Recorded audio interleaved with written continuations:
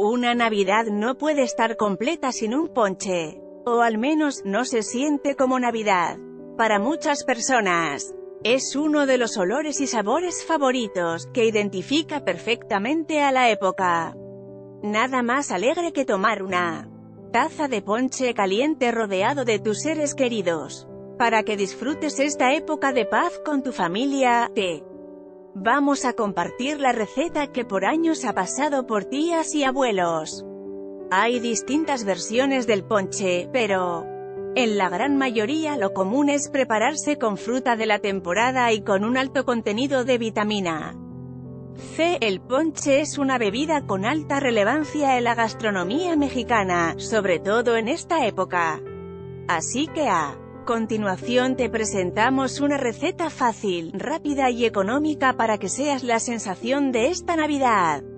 Ingredientes, 2 varas de canela entera 4 litros de agua 200 gramos de piloncillo 6 piezas de guayaba 2 piezas de manzana amarilla 20 piezas de tejocote 2 trozos de caña de azúcar media taza de flor de jamaica una taza de ciruela Pasa a 3 cuartos de taza de ron 5 piezas de vaina de tamarindo Preparación, cortar las guayabas en cuartos.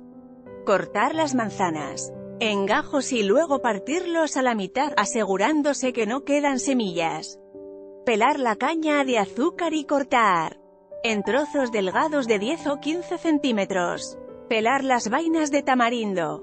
Quitarles las semillas para que quede solo la pulpa. Poner a hervir el agua.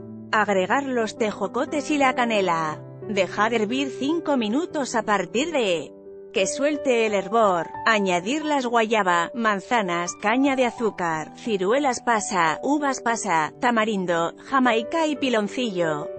Dejar hervir a lumbre baja durante al menos 30 minutos. Agregar el ron y servir caliente en jarritos de barro. La variedad de ponches es infinita, justo como la gastronomía mexicana. Aquí te dejamos más recetas para que prepares la que más te guste. Ponche de cerezas, ponche navideño de Jamaica, tamarindo y manzana, ponche de tejocote y guayaba.